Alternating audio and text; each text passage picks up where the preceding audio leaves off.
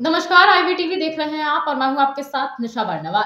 बिहार विधान परिषद की पाँच सीटों पर चुनाव होने हैं। ऐसे में चुनाव को लेकर गया शिक्षक निर्वाचन क्षेत्र से वहाँ पर पेच फंसता हुआ नज़र आ रहा है। दरअसल ऐसा इसलिए क्योंकि एनडीए के फोल्डर से बीजेपी ने अपना कैंडिडेट वहाँ से उतारा है। लेकिन खबरें ये भी चल रही थी कि एक तरफ़ जहाँ पशुपति पारस की पार्टी, यानी कि रालोजपा के कैंडिडेट को वहाँ से उतारने की बात चल रही थी, यानी कि रालोजपा के कैंडिडेट डीएन सिन्हा को वहाँ से उतारने की बात चल रही थी तो वहीं दूसरी ओर ये भी खबर निकलकर सामने आई थी कि हो सकता है बीजेपी जो है, वो लोजपा रामविलास की पार्टी, यानी कि चिराग पासवान की पार्टी के कैंडिडेट को भी वहाँ से उतार सकती है। ऐसे में बीजेपी ने चाचा भतीजा के बीच में ना फंस कर वहाँ से अपना कैंडिडेट उतारा है, जिससे कहा जा रहा है कि पशुपति पारस और चिराग पासवान दोनों में कहीं ना कहीं अंदर खाने थोड़ी बहुत तो नाराज़गी देखी जा रही है।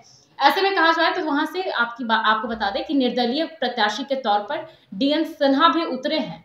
क्योंकि पशुपति पारस की पार्टी से वहाँ पर कैंडिडेट को नहीं उतारा गया है। इन्हीं सब मुद्दों को लेकर बातचीत करेंगे। इस पर बातचीत करने के लिए रवि सर हैं वरिष्ठ पत्रकार हैं। सर सबसे पहले तो ये बताइए कि जिस तरीके से यहाँ पर पशुपति पारस की पार्टी से कैंडिडेट नहीं उतारा गया है और फिर बीजेपी ने अपने कैंडिडेट जीवन कुमार को वहाँ से खड़ा किया है ऐसे में क्या मतलब अंदर खाने क्या चल रहा है इसको लेकर? देखिए वहाँ पर एक बात समझना पड़ेगा हम्म। कि गया जो शिक्षक निर्वाचन क्षेत्र है वहाँ पर नॉमिनेशन का अंतिम दिन समाप्त हो गया सब हो गया नॉमिनेशन हो गया। हम्म। अब वहाँ पर देखिए आपको भारतीय जनता पार्टी से हम जीवन कुमार जो अधिकृत प्रत्याशी हैं वह उनको अंतिम क्षण में उनको शंबुल अलॉट हुआ। अंतिम दिन में उनके उनके नाम पर मुहर लगी भारतीय जनता पार्टी केंद्रीय नेतृत्व ने उस पर मुहर लगाया। नंबर एक। नंबर दो बात वहाँ से प्रोफेसर डीएन सिंह वो जो लोक जनशक्ति पार्टी राष्ट्रीय जो पशुपति कुमार की पार्टी है जो केंद्रीय मंत्री हैं पशुपति कुमार पारस और एनडीए में है वह चाहते थे कि प्रोफेसर डीएन सिंह वहाँ से चुनाव उनकी पार्टी से लड़े। हाँ। लेकिन और उसके लिए प्रयास भी उन्होंने किया। उसके लिए जेपी नड्डा भारतीय जनता पार्टी के राष्ट्रीय अध्यक्ष हैं उनसे उन्होंने उनकी कई राउंड की बातचीत भी आश्वासन भी दिया गया। लेकिन अब देखिए यहाँ पर उनको न टिकट देकर जीवन कुमार को बनाया गया। तो यह इसके लिए समझना पड़ेगा थोड़ा सा क्योंकि लोक जनशक्ति पार्टी रामविलास जो चिराग पासवान की पार्टी है हम्म। तो चाचा भतीजा में जो 36 का आंकड़ा है तो वो उसी को देखते हुए लेकिन ऑफिशियली आप देखिएगा तो आधिकारिक रूप से वो एनडीए फोल्ड में नहीं है एनडीए फोल्ड में चिराग पासवान की पार्टी नहीं है लेकिन मोदी के हनुमान है तो निश्चित रूप से उनका क्लेम बनता था तो वो उसी तरह चाह रहे थे कि वहाँ से उनकी पार्टी का भी उम्मीदवार वहाँ से हो लेकिन। भारतीय जनता पार्टी ने मास्टर स्ट्रोक खेलते हुए न चाचा को दिया न भतीजा को दिया वहाँ से जीवन कुमार को उम्मीदवार बना दिया। तो ऐसे में अब देखने वाली बात होगी कि जो जीवन कुमार के लिए जब ऑफिशियली कैंडिडेट हो गए भारतीय जनता पार्टी के तो प्रोफेसर डीएन सिंह पर पशुपति कुमार पारस की पार्टी कोई कार्रवाई करती है कि नहीं? नंबर एक बात। नंबर दो बात क्या है कि वहाँ से कृष्ण कुमार सिंह एक भारतीय जनता पार्टी के की ओर वह भी टिकट की मांग कर रहे थे और मज़बूत और प्रबल दावेदार थे। लेकिन बावजूद इसके उनको टिकट भारतीय जनता पार्टी ने ही दिया। वो पूर्व एमएलसी भी थे वो, भारतीय जनता पार्टी के। और भारतीय जनता पार्टी का उस रेंज में उनको मगध क्षेत्र में उनको, उनकी प्रतिष्ठा भी है। और और कैलाशपति मिश्र को के वो जमाने से वो उनके साथ में रहे हम्म। तो ऐसे में बहुत उम्मीद थी कृष्ण कुमार सिंह को टिकट मिलेगी भारतीय जनता पार्टी लेकिन उनको भी भारतीय जनता पार्टी ने नहीं, दिया। तो वह भी बागी प्रत्याशी के रूप में वह भी वहाँ से चुनाव लड़ रहे हैं।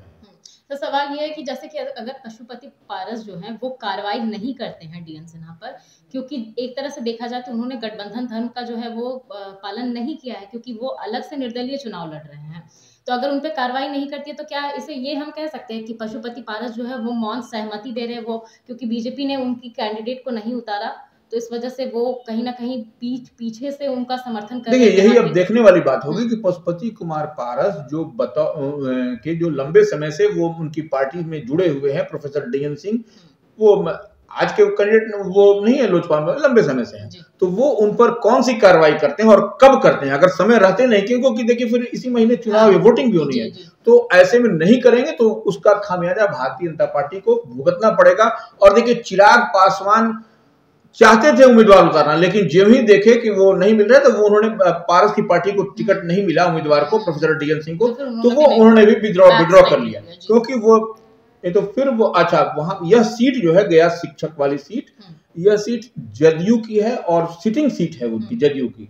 तो वहाँ से संजीव श्याम सिंह वहाँ से सिटिंग है वो लड़ते आ रहे हैं वही इस बार भी वो जदयू से लड़ रहे हैं। तो ऐसे में चिराग पासवान देखिए 2020 में जो बिहार विधानसभा का चुनाव हुआ था वही स्थिति लाने की कवायद में थे। अगर यदि वहाँ से वो जदयू अगर वहाँ से उम्मीदवार देता है तो का उम्मीदवार होता है और भारतीय जनता पार्टी अगर हमको दे देती है तो वो कुछ करना चाह रहे तो नहीं भी देते, अगर पारस को वो देते पारस की पार्टी से अगर कोई उम्मीदवार होता तो निश्चित रूप से चिराग पासवान। की लेकर राजू तिवारी जो लोजपा रामविलास के प्रदेश अध्यक्ष उन्होंने कहा भी है कि अगर बीजेपी उन्हें पहली बात तो उन्होंने ये कहा कि उन्हें लग रहा था कि उनके कैंडिडेट को वहाँ से उतारा जाएगा। लेकिन जब 12 तारीख को बीजेपी ने घोषणा की जीवन कुमार को उतार रहे हैं तो उन्हें भी लगा कि एक झटका जैसा लगा। और फिर उन्होंने कहा कि हम तो पूरी तैयारी कर चुके थे कि तेरह तारीख को हमारे कैंडिडेट का नामांकन नामांकन होना है। लेकिन नहीं किया गया जिस वजह से उन्होंने ये कहा कि हो सकता है कि अगर नहीं किया गया तो ठीक है अगर बीजेपी नहीं उतारती तो फिर रालोचपा मतलब इशारे हो इशारों में कहा कि अगर किसी और की पार्टी का कैंडिडेट होता तो फिर हम अपना उम्मीदवार उतारते ही उतारते। तो, तो क्या इसमें चिराग पासवान की पार्टी में नाराज़गी भी है नहीं नहीं चिराग पासवान की पार्टी में कोई नाराज़गी नहीं चिराग पासवान देखिए वो स्ट्रेटेजिकल मूव था उनका। कि अगर यदि इस तरीके से अगर यदि पारस की पार्टी लोक जनशक्ति पार्टी जो है सो राष्ट्रीय अगर यदि उम्मीदवार देती है प्रोफेसर डीएन सिंह को बनाती है तो निश्चित रूप से लोक जनशक्ति पार्टी रामविलास जो चिराग पासवान की पार्टी है वह भी वहाँ पर उम्मीदवार हम्म। तो यह तो सामने चाचा भतीजा की लड़ाई सामने दिखाई दिखाई पड़ रही है। तो भारतीय जनता पार्टी ने मास्टर स्ट्रोक खेलते हुए दोनों में से किसी को नहीं ये किया और अपना उम्मीदवार वहाँ घोषित कर दिया। लेकिन बावजूद इसके अब देखिए वहाँ बागी से परेशान होंगे वहाँ के जो सिटिंग जो भारतीय जनता पार्टी के जिनको उम्मीदवार बनाया जीवन कुमार को वो बागी कृष्ण कुमार सिंह भारतीय जनता पार्टी के एक्स एमएलसी हम्म। वो लड़ रहे हैं। उसके बाद से वो प्रोफेसर डीएन सिंह जो एनडीए फोल्ड में रहते हुए वो लड़ रहे हैं। तो यह सब परेशानी का सबब है। हम्म। और यह सिटिंग सीट जदयू की है। तो इसलिए वहाँ पर देखने वाली बात होगी कि लंबे समय से संजीव श्याम सिंह वहाँ से एमएलसी रहे तो क्या वहाँ पर जो सब होता है किस तरह से एनडीए फोल्ड में मैंने होता है लड़ाई होती है कि महागठबंधन में अभी जो सो तो वह इसका भी टेस्ट टेस्टिंग लिटमस टेस्ट होगा महागठबंधन से उम्मीदवार हैं ये। संजीव श्याम सिंह, जेडीयू के उम्मीदवार। तो यह भी एक देखने वाली बात यानी कि देखा जाए तो गड़बड़ जहला की बात करें तो वो सिर्फ़ महागठबंधन में नहीं है, बल्कि एनडीए फोल्ड में भी देखने को मिल रहा है। एक तरफ़ जहाँ बात करें तो महागठबंधन में भी जेडीयू और आरजेडी के साथ साथ एक भाकपा माली के कैंडिडेट को उतारा गया है, लेकिन कांग्रेस और बाकी अन्य दलों के प्रत्याशी को नहीं उतारा गया, जिससे अन्य दलों में नाराज़गी है। तो वहीं एनडीए फोल्ड में भी नाराज़गी देखने को मिल रही है।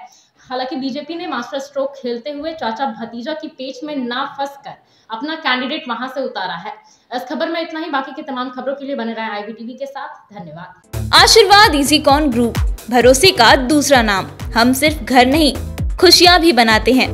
आशीर्वाद रोज वैली, जिसमें है premium flats with all modern amenities Patna में लेना चाहते हैं अपने सपनों का आशियाना तो कीजिए हमारे नंबरों पर संपर्क।